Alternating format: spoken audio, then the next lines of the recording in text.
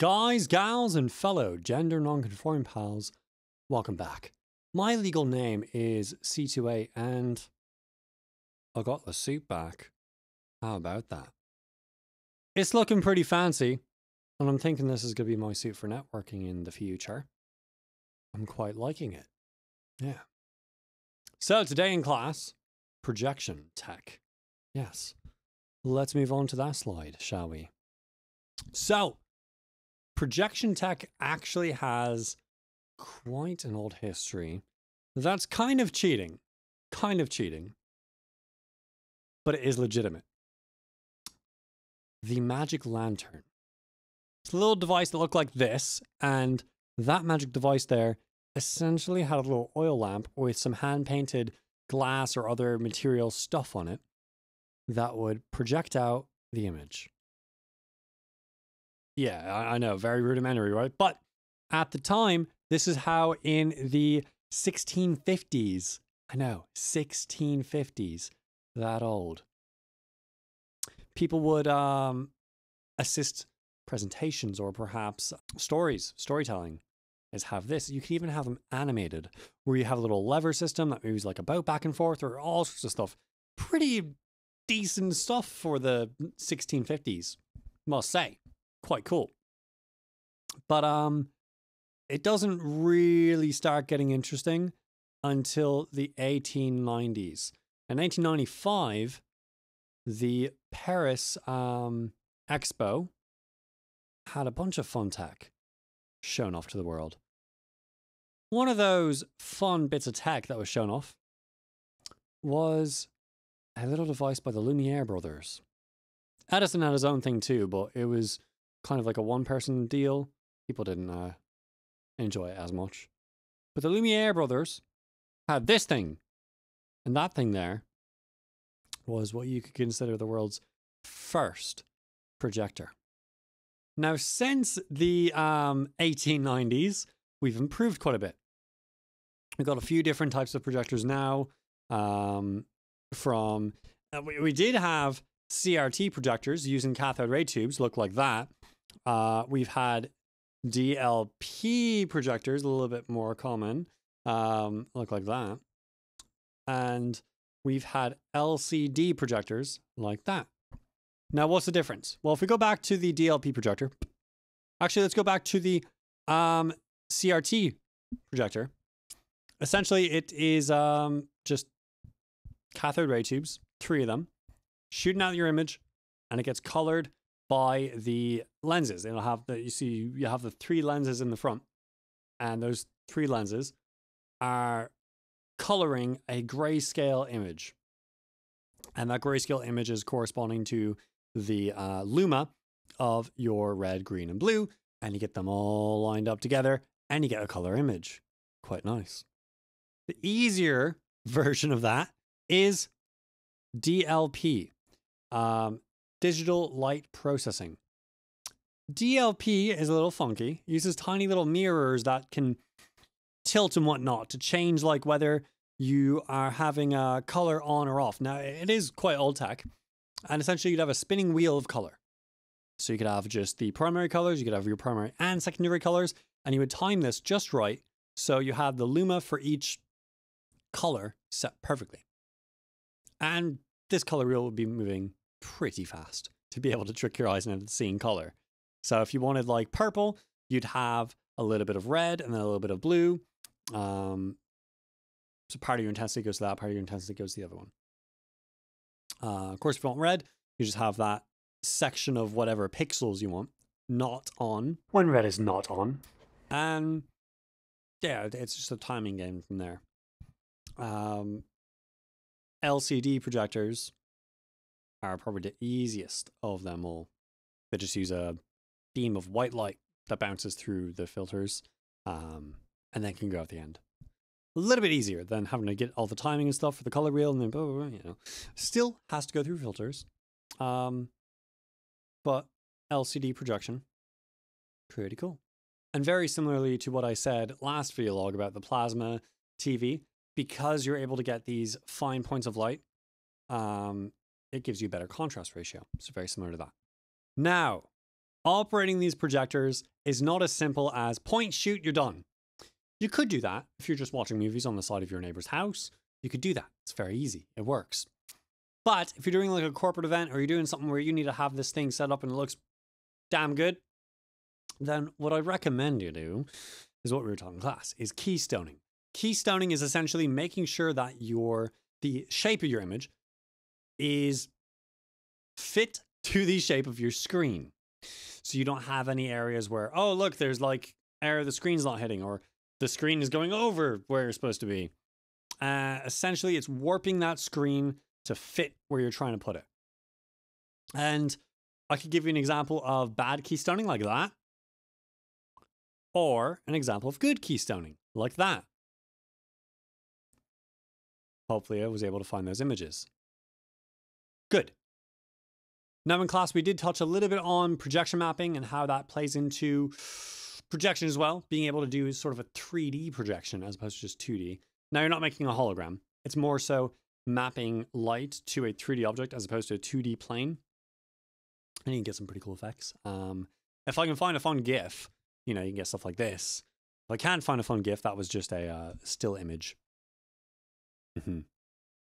By the way, I'm using um, a cable that I made in a class in Principles of Electronics. Yeah, it's rather one I repaired. Chopped the ends off and made it better. Got better, got better solder in it, so it's got better connection and whatnot. So if I like drop this thing, it's not gonna break and just fall off because it had like the smallest amount of solder. So sad. Also got rid of um ground issue where like if I were to touch this, I would immediately become part of the circuit. Not good. got rid of that. um, but yeah, that that's class. And the other part of class, uh, lecture wise, was we got back into our group again and we are finalizing the documents I was talking about. So that um, stage plot, we got that finished. We have the um, request list of everything, the item list that we need, the counts of everything. Uh, and then more on that a bit in lab, we did need to uh, count the cable, count the cables and whatnot. And then the final thing was just the group charter, the whole thing on what's the action plan, which we could probably use some revision on. Um, that one's not weighted as the other ones are. So less stress about grades, but like more, we should be more organized about what we're doing, to be honest. So let's go into lab. I was able to get some media of lab for you today. So the main new thing that we're doing in lab is we've got the projector and we're setting up everything. Everything. It is hectic and that is the reason why I think we might need to get the group charter um, a little bit more organized and find build teams. I definitely recommend that. If you have this class next, whoever you're with in your lab group, let them know about this assignment. Tell them, hey, we're going to have to set up equipment and it'd be really good to have like teams set up for each section. Once you've done lab four, I believe. Lab four gives you a pretty good estimate of what everything is. So, if after lab four you feel confident in an area, definitely tell your lab mates, hey, let's work in this area. And not have everyone go hectic trying to build everything randomly. Uh, build teams are definitely going to be important. Not touched on in class at all, just advice. Advice from uh, my lab group to yours. So, like I said, we're building the projection screen and we're working more with the projector. Uh, I did get media. I, I told you I got media. I got footage of that being built and I got permission from people. They're like, okay, you can you can put me on YouTube. That's good. So we'll see some faces um, and people. Those people are like, you're good. You can put me on YouTube. So thank you, thank you for that. Here's the um the first of the footage I got. If I don't play it all, uh, I probably will play it all, but we'll see. So here's the uh, first bit of footage, which is just us taking out the framing for the projector. Looks like this. Want pictures along the way? Go ahead. Um, so your screen, which is our top part right here, this is actually one of your most expensive parts. But for now, um, I'm gonna actually go ahead, stick it right here for now. And then we got our skirt diagram here in the bottom. So if we want to grab the corners, lay the four corners out, we're going to build this. So we're going to need to connect two yellows and then that's gonna come on top. And then next up, we're doing more assembly of like the legs and then adding on the screen. Very cool. So four people wanna grab the corners? I want to take a tag Hold on, if you wanna keep the tag here, somebody else wants to grab the corner, this corner. So now, if you look, you're gonna see the elastic part and then a cloth part. What we want, go corner to corner first. And so the elastic part is gonna be the part to come across like the sprocket holes. I don't know if you caught that. Yeah. Use the elastic part to go over. Up and over. I see. Too easy. Well, we've had some use the cloth part. In a sense, yeah. I'm sure that's how I I mean, in a sense. Yeah. Probably to the second one to the top. Yeah. Probably the second one. Not the first one. Which is either one. You see this one right here? Yeah. Probably, yeah. So now, if you look on these, there's one that's right at the end. They should, they're kind of magnet, so they slide right on top of each other. They should slide into place. For the screws? Yes, Yeah. yes. So there is one. And then finally, we've got it up and running and then you can see it. look at it, go up here. Nope, now I would start at the top. Okay. Okay. So start And at that's the the top and top. bring it out a little bit. Bring them both out, if that makes sense. Like this. So bring it back out. And all in all, that was lab. Now I might have a few extraneous videos. So anything else I shot will go here.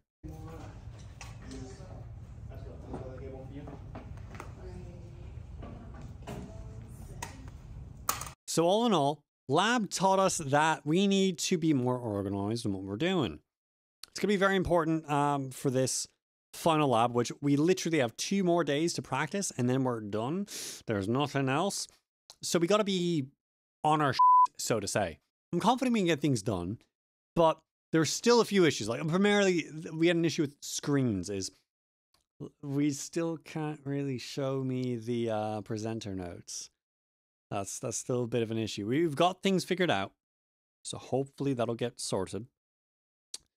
But I might have to improvise some bits, which would uh, be unfortunate because that would make the pres- the presentation of a lower quality. I would not like that to happen. But I think we got a good direction now of where things are going. We got a good run through of setting up, tearing down, and some potential issues we might run into. We found some ways to be more efficient in setting up through failures that we had, but little hit, we'll call them little happy accidents, not failures. So I'm confident that we will get things done more efficiently and more effectively next lab, and hopefully the lab after as well. But that's all for Full Sail. C28 business. Um, again, we have that video coming out Friday. Today, actually, if you are not control voltage, today. Uh, and that video should post at the same time as this one. So, uh, yeah, if you're watching this one first, yay. Thank, thank you for watching this video first, I, I suppose. I'm only biased because I'm in this one. I'm in the other one too, but that was an older me. um, but yes, the sixth episode of Synthetic Design is posting today if you're not a control voltage. And I hope you enjoy it. There's some really quality stuff going on with the sound. The dynamic textures in it are just perfect. They're just so nice. The way things move and screech and growl. They don't really screech, but they move and growl and whoa, whoa, whoa. They're, like, they're so cool. So check them out today, please. Uh, I think you might like it. And if you do enjoy it, you can let me know in the comments below. Both videos if you like, but you know, preferably the synthetic design episode. Um, so, of course, I hope you enjoyed today's video. If you have any questions or comments, you can leave those in the comment section below. I'll get back to them. And if I super enjoy your comment, I'm like, you know what? Other people should see this comment. I'll put it in the space. Yeah, your comment would be like, there it is. It's, it's gone now. But you'll get your comment in the space. Yeah. Again, if you did enjoy it, you can subscribe, and YouTube will happily give you more recommendations for videos like this one from myself and other creators. And if you super duper enjoyed it, like a lot, a lot, a lot, they were like, this is one of the best videos I've seen on YouTube, or somewhere around that range, you know, that's fine. You could consider becoming a control voltage by joining that little blue button that pops up after subscribe. That will allow you to gain the rank of control voltage, where you get access to the Discord, you get early access to videos, and behind the scenes content as well. Fun stuffs. I'll be shooting the members only live probably today, maybe tomorrow. We'll see. I'm still coordinating with everyone else, trying to see what's good, what's bad, what works. So I'll leave another uh, message in Discord for y'all, and we'll see what works for us. If we only get one or two years, eh, it is what it is. but I, I would like to not be alone on a live stream. You know that that would be so sad and unfortunate. So if at least one of you could join, that that'd be nice.